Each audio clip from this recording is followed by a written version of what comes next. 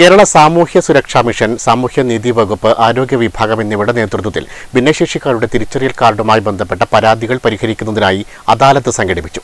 പയ്യന്നൂർ ഗാന്ധി പാർക്കിൽ നടന്ന നഗരസഭാതല അദാലത്ത് പൊതുമരാമത്ത് standing committee chairman T Viswanathan ഉദ്ഘാടനം ചെയ്തു.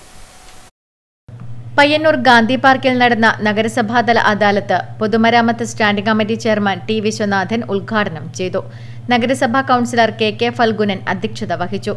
അദാലത്തിൽ രജിസ്റ്റർ ചെയ്ത എൺപത്തിമൂന്ന് പേരിൽ എഴുപത് പേരുടെ പ്രശ്നങ്ങൾക്ക് അദാലത്തിലൂടെ പരിഹാരം കണ്ടെത്തുന്നതിന് കഴിഞ്ഞു. പുതിയതായി ആറ് അപേക്ഷകൾ സ്വീകരിച്ചു. അപേക്ഷ നൽകിയവരെ ഇരുപതാം തീയതി തൾപ്പറമ്പിൽ വെച്ച് നടക്കുന്ന മെഡിക്കൽ ക്യാമ്പിലേക്ക് റെഫർ ചെയ്തു.